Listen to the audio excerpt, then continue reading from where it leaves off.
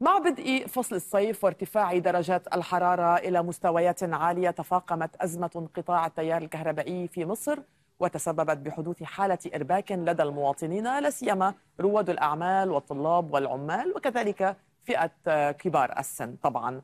توقع محللون أن يتسبب الانقطاع المتكرر للتيار الكهربائي في حدوث خسائر مادية كبيرة قد تؤدي إلى تخفيض حجم الإنتاج ورفع تكلفة المنتجات ما يشكل بدوره عبئا إضافيا على المواطن. ناهيك طبعا عن تأثيراته الخطرة على صحة كبار السن وأصحاب الأمراض المزمنة الذين لا تقوى أجسامهم على تحمل الحرارة العالية. وطلبت الثانوية العامة المعرضين طبعا لإخفاقات دراسية بسبب فقدان الكهرباء وعدم توفر الأجواء المناسبة للدراسة في المنازل. كما ترون مشاهدينا فإن أحياء واسعة من القاهرة تعيش وقع ظلام دامس على غير عادتها إذ عرفت هذه المدينة بأنها تنبض بالحياة ليلا ونهارا. لكن للوقوف على أسباب هذه الأزمة نستعرض ما قالته الجهات المعنية بهذا الملف.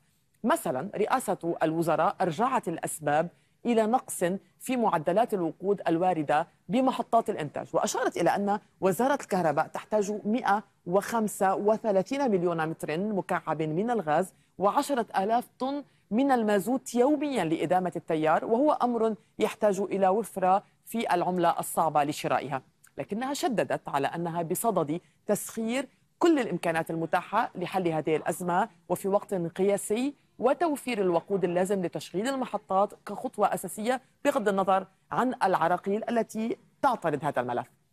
خبراء الاقتصاد يرون أن تنفيذ هذه المتطلبات في وقت قياسي أمر صعب لأن البنك المركزي يحتاج إلى السيطرة على تدوير سعر العملة الصعبة التي تستخدم أساسا وكأولوية قصوى لشراء المواد الاستهلاكية اليومية. ورغم مساعي السلطات في الحفاظ على التوازن بين توفير المنتجات الاستهلاكية والتيار الكهربائي تعالت الأصوات الشعبية المطالبة بإيجاد حل لهذه الأزمة وهنا دخلت الحكومة على الخط. وزارة الكهرباء والبترول أصدرتا بيانا. قالتا فيه إنه نظرا لزيادة معدلات الاستهلاك المحلي من الكهرباء ونتيجة الموجة الحارة شديدة الارتفاع وزيادة استهلاك الغاز المولد للطاقة فسيتم زيادة فترة تخفيف الأعمال الأحمال يوميا لساعة إضافية. ويأتي ذلك من أجل الحفاظ على الكفاءة التشغيلية لمحطات إنتاج الكهرباء والشبكة القومية للغازات الطبيعية. كما أعلن أيضا مجلس الوزراء قرارا بغلق مراكز التسوق في العاشرة مساء باستثناء المطاعم والسوبر ماركت والصيدليات لترشيد استهلاك الكهرباء وتخفيف الأحمال عن الشبكة الرئيسية. وبطبيعة الحال فأن هذا الملف أشعل مواقع التواصل الاجتماعي وسط أنباء بزيادة أسعار فواتير الكهرباء خلال موسم الصيف.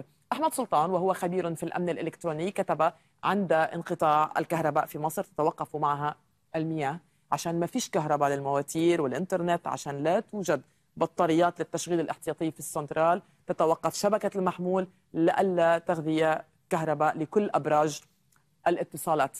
أما جودة عباس الفواخري وهو رئيس اتحاد الشاغلين لمول التحرير فيقول ممكن تساعدونا في عمل الطاقة الشمسية للمنازل بالتقسيط وبضمان عقد ملكية المكان. بحسب